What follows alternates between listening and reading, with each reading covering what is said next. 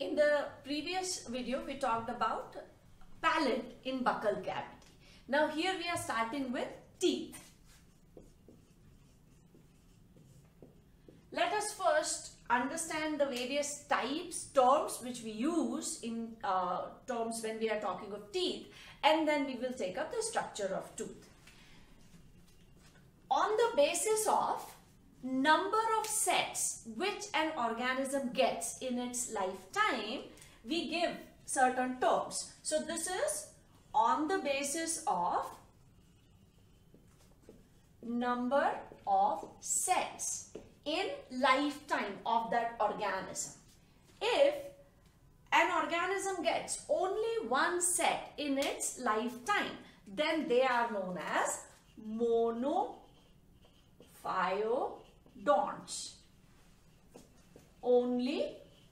set in the entire lifetime. The example of this are whale and certain uh, lower uh, animals like uh, anteaters and we can say protonemes.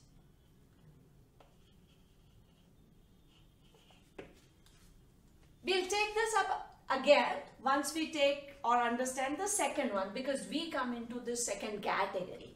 If an organism gets two sets, then they are known as diphyodonts. Two sets. And we are in this category so let us write down the examples here. That is man, human beings, apes, monkeys. We get two sets. Now the first set is known as first set is known as temporary or milk set and the second set is known as the permanent set. Now let us talk about the types of teeth and then we will come back to this. The third category here is if an organism keeps getting the sets as and when they fall off, then they would be called polyphyodonts. Many sets. As soon as teeth fall off, the new set would erupt. So they are called polyphyodonts. In this, we would take the examples of fishes, amphibians. So as soon as their teeth fall off, new sets arise. So this is one classification based on how many sets an organism gets in its lifetime. The second classification is based on the type or the shape of teeth or the shape of teeth. If, again, if all the teeth are identical, then they are known as homodont. All teeth identical. And if the teeth are different in shape, then they would be called heterodonts. Again, in homodont, we would write the example of fishes, amphibians, and in heterodont, we will write the example of man or human beings. Now, when we talk of heterodont, which all different shapes of teeth are found. The first one, they are called incisors. Incisors are the teeth which are in the front and they are used for cutting and that's why they are also known as cutting teeth. They are most developed in organisms which use them more like rabbits and rats because they normally keep cutting on certain food items their cutting teeth that is incisors are very well developed. The second These are pointed teeth and they are more developed in carnivores. They are known as canines. And these canines are tearing teeth. These teeth, that is these tearing teeth, they are used to tear the skin and flesh and that is why they are very well developed in carnivores. The third category of teeth, they are called premolars and they are brought and used for grinding. Similarly, the fourth type which are known as molars, they are also used for grinding. So premolars and molars are termed as grinding teeth. This classification is based on the type of teeth based on their shape and these different shapes are based on the function for which they are used. So if the animal has all teeth similar in shape size then they are called homodont. If they have different shapes performing different functions then those animals would be called heterodont. So we have seen two classifications. One is on the basis of sets and the second is on the basis of the shape. So in case of set, it can be only one set that is in case of whales and sorry, this is Prototherian whales, Prototherians. In case of human beings, Diphyodont and in case of fishes and amphibians, these are Polyphyodont. Now, we will talk about dental formula using these two things in case of human beings. Dental formula is the arrangement of teeth in our jaw. To understand this, suppose this is the upper jaw and this is the lower jaw. Then we would write down the number of teeth in one half of the upper jaw and one half of the lower jaw. The teeth which come here, they are incisors then canines, then premolars and molars. Similarly, in the lower jaw, it's going to be incisors, then canines, premolars and molars. In case of human beings, if we are talking about the dental formula of the first set, that is milk teeth if we are talking of. The formula is 2102 over 2102. Now what does this mean? This means that this indicates the upper jaw, this indicates the lower jaw. So this is upper jaw, this is lower jaw and we have written only half. That means same thing would be on this side in case of upper jaw and same thing would be here in case of lower jaw. That means we'll have to double this number. But let us first talk about these numbers. This means there are two incisors in the upper jaw. Then there is one canine here, no premolar and two molars. This is what is meant by 2102. Similarly, in the lower jaw, there are two incisors here. Then one canine which is a pointed tooth, then no premolars and two molars. Let us count this. 2 and 1, 3 and 2, 5. 5 in one half and obviously 5 would be in the other half.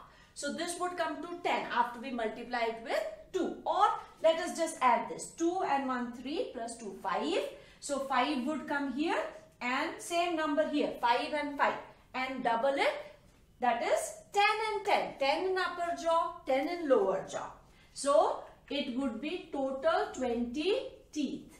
The ones which are not there are because we have 32 in the permanent set. Or let us first write down the permanent set so that it is easier for us to compare.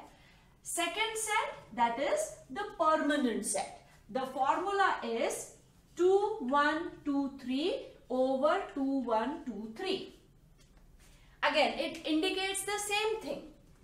Or let me write it here slightly so that we get more space. We are writing of the second set that is the permanent set. The formula is 2, 1, 2, 3 over 2, 1, 2, 3. Again, same thing. The upper line is representing the upper jaw, lower line is representing the lower jaw. And this is only half.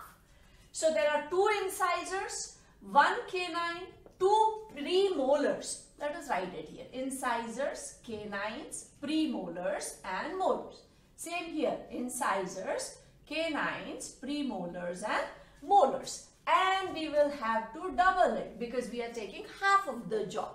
So this would be 2 plus 1, 3, 4, 5, 6, 7 and 8. 8 in 1 half. So if 8 come here, 8 would be here. So that is 16 and 16 here. So this would be 32 teeth in the permanent set. Now, temporary set is without premolars and the last molar is not there. That last molars, they are known as wisdom teeth. And wisdom teeth, they erupt at a later age after around 18. So, we can write here maybe that last molars are called wisdom teeth and which erupt after the age of 18. After 18 years. So, if a question is asked based on these two words we are talking of or these two classifications, after we have understood the dental formula, there are two sets in case of human beings and that is why we are diphyodont.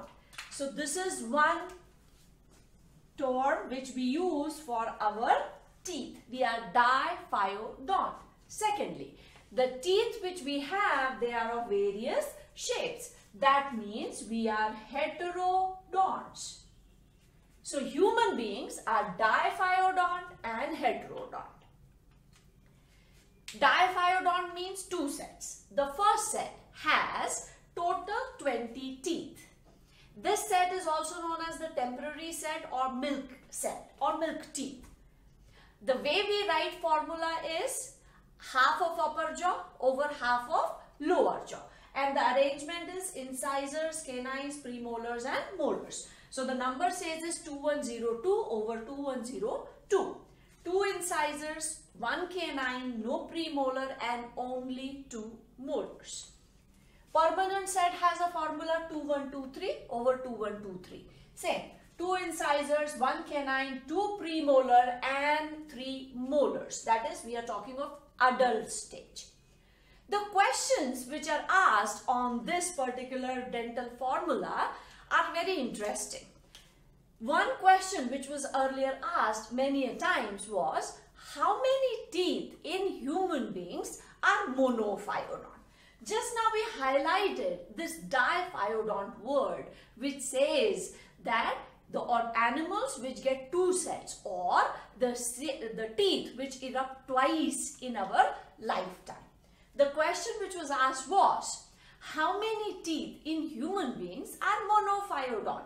That means how many teeth are there which appear only once. If we compare this formula, premolars are not here in the temporary set but they are here in permanent set. That means they appear only once in the permanent set. So premolars come under monophyodont teeth. That means they have appeared only once. That too in the permanent set. The second one, here there are only two molars and the last molar which appears at the age or after 18 that also would appear after 18 that means in the permanent set. So which teeth are monophyodont? Monophyodont teeth in humans would be premolars. Reason they appear only once and that too in permanent set. and second the last molar that is the wisdom teeth. So last molars or wisdom teeth. They also appear after the age of 18 and that is in the permanent set. So formula knowing is one thing and then interpretation of that formula is another important thing. So here we have classified the teeth or arrangement on the basis of only two things. One is on the basis of number of sets an organism gets and the second is shape. There are two more ways in which we are going to classify them. So let us take those two classifications now.